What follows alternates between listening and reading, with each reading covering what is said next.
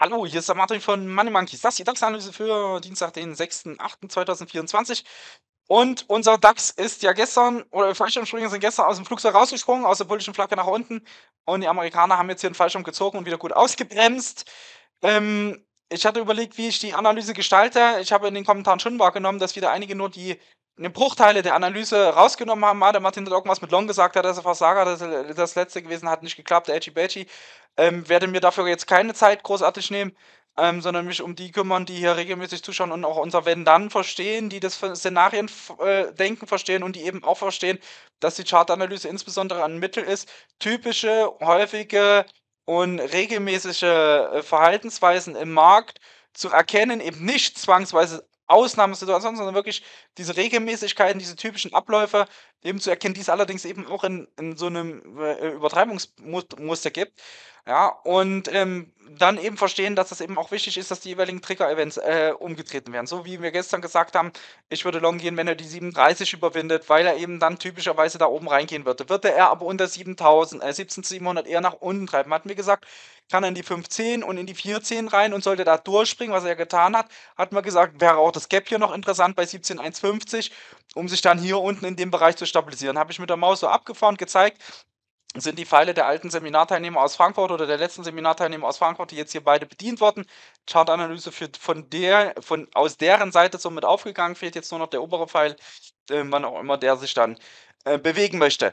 Jetzt dazu, was machen wir da draus? Ähm, wie gehen wir damit um? Natürlich war das jetzt ein bisschen überraschend, ähm, aber man muss eben auch sagen, und das finde ich eben das Schöne an der Charttechnik, wir haben im Premium-Dienst 8 Uhr gleich das erste Update äh, rumgeschickt und uns angeguckt, okay, was liegt hier unten noch? Wir haben hier das Gap bei 17,150 und dann eben markante Hochs auf der 17,100, 17,50, wo Stabilisierung einsetzen kann. Und wo haben wir es tief gekriegt? Dann schön von der 17,50.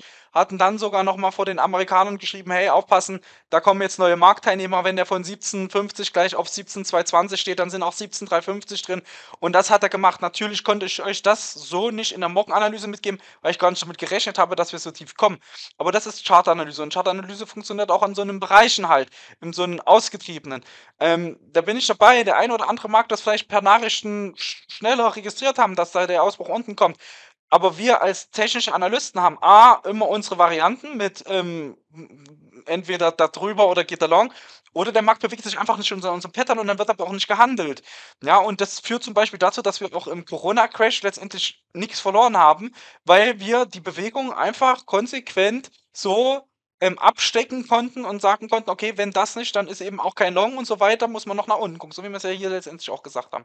Ja, und da freut es mich dann eben auch, wenn Leute wie mein Axel zum Beispiel, die früher äh, hier immer nur auf die Schnauze gekriegt hätten, um es mal so zu sagen, jetzt eben kommen und dann sagen, äh, sie haben mir heute gut was reingeholt und äh, da irgendwie knapp über 5000 Euro Gewinn gemacht. Das, das freut mich dann, das ist dann schön. Und dann muss ich eben auch die ignorieren, die hier wirklich zeigen, dass sie einfach nicht zuhören wollen. Das, dann ist das so, das ist für mich okay.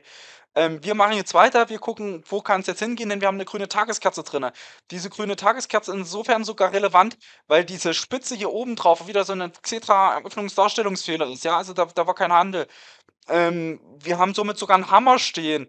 Und der Hammer erlaubt es uns, oberhalb von dem ähm, Tageshoch, was wir hier gesetzt hatten, müssen wir mal in 2-Stunden-Chart reingucken, wo das jetzt genau war, ähm, oberhalb von, na, wo ist es hoch? 17,423. Oberhalb von 17,23 sogar weiteres Erholungspotenzial wahrnehmen könnten. Eben rein in die 510 noch. Das wird von unten jetzt auch nochmal knackig. Ähnlich wie die 200-Tag-Linie, die von unten auch schön angelaufen wurde. Äh.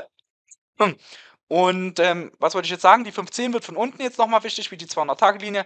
Und darüber hinaus dann eben auch die 600. Das Tief hier bei, äh, was haben wir hier? 620. Das sind jetzt alles die wichtigen Punkte hier. Ähm, wartet, 623, 620 können wir sagen und der Gap bloß um die 700 rum. Das sind jetzt die Stationen, die von unten angelaufen werden können.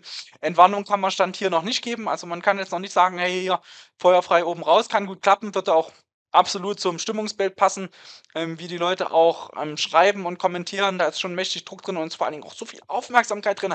Das habe ich selten so wahrgenommen wie hier. Also selbst im Corona-Crash nicht so krass wahrgenommen, wie das jetzt hier gerade ist. Mein Nachbar hier hat mich angesprochen, meine Schwiegermutter, die hat sich schon nie mit mir über Aktien unterhalten, ähm, hat jetzt hier was geschrieben mit ja und in Japan und äh, das größte Börseneinbrechen wie 2008 und, ähm, das das das das stimmt mich dolle vorsichtig, ähm, dass der hier wirklich nach oben jetzt ähm, äh, in die Erholung gehen kann. Aber ich sage es eben auch ganz klar, ich will von ihm Belege dafür haben. Ich gehe nicht blind long, wenn der hier einfach nach unten wieder zurückschwalbt und weiter in die Tiefe schrubbt, weil dann eben nicht die nächsten Ziele auf der Unterseite angeklackert werden. Ist der aber über 350, über 400, räume ich dem locker das Potenzial ein, die 510 noch anzuklackern und auch so eine Sachen wie 620 und den Gap Close hier zu erreichen. Und wenn er das schafft, ist auch dann die 850 noch drin. Ja, also das wird dann in einem Zug dann wahrscheinlich machen. Ja, Gap Close und da oben noch drüber flatschen. Ähm, würde ich mich deswegen oberhalb von 400 eher auf der Oberseite orientieren, möchte das aber auch aktiv sehen.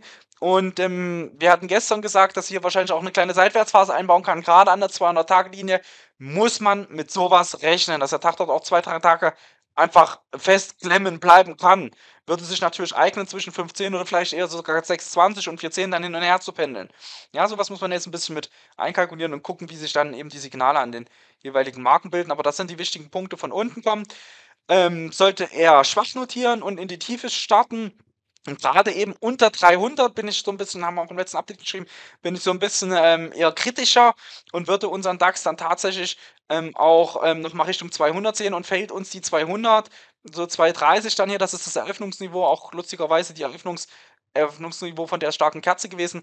Ähm, sollte er da auch wieder drunter fallen, muss man sogar nochmal mit neuen Tiefs rechnen, weil wir ja das Seitwärtsmuster verlassen haben und wir haben gestern gesagt, das kann durchaus einen Abwärtstrend etablieren, der dann eben noch weiter gehen kann. Und weiter gehen kann heißt dann, dass wir hier nochmal drunter gehen, auch unter die 17.000 nochmal tippen. Das ist natürlich freilich eine schöne, das ist eine richtig schöne Supportbastion, die kann uns aufhalten, aber wir haben auch unten hier oben, äh, wir haben hier eben auch noch unten schöne Gaps, wie zum Beispiel dann bei 16.652 1,50 und das ist dann durchaus noch machbar. Ähm, haben hier Aufwärtstrendlinien, die dann 16.500 kommen. Da liegt auch, glaube ich, irgendwo die Jahreseröffnung. Ja, das ist ja auch immer noch mal manchmal so ein gern angelaufener Punkt. Muss ich mal kurz gucken. 22. Dezember.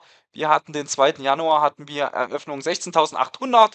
Ja, also das sind 16.800, also die Jahreseröffnung sind dann schöne Stationen, die dann eben noch kommen können.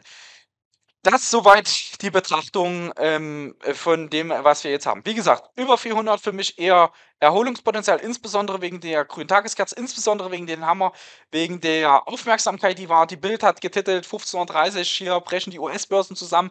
Ich habe auf Facebook Leute gesehen, die haben ihre Depots komplett leer gemacht äh, vor US-Börsenstart. Es wirklich war, ist nicht geschwindelt. Ich habe Leute gesehen, die haben mir geschrieben, sie haben ihre Depots jetzt geräumt, äh, sie kaufen dann günstiger nach.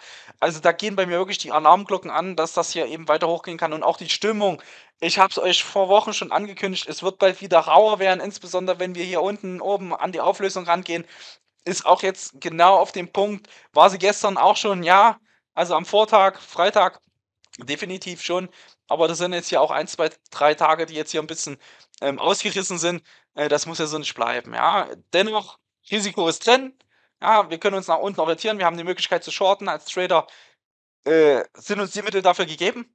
Ja, aber über die 400 würde ich ihm erstmal jetzt Erholungsraum äh, lassen in die besagten Marken rein, plane eben aber auch, dass das hier ein bisschen hakelig werden kann, ja, ein bisschen hin und her laufen. Ja, und das heißt, man muss jetzt hier nicht unbedingt alles durchhalten. Man kann da vielleicht auch klein, mit kleinen Teilverkäufen arbeiten, dann tiefer wieder was zurückholen.